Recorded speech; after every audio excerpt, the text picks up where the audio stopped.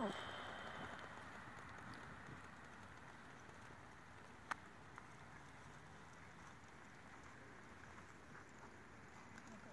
him. I'm not even going to think about looking at him.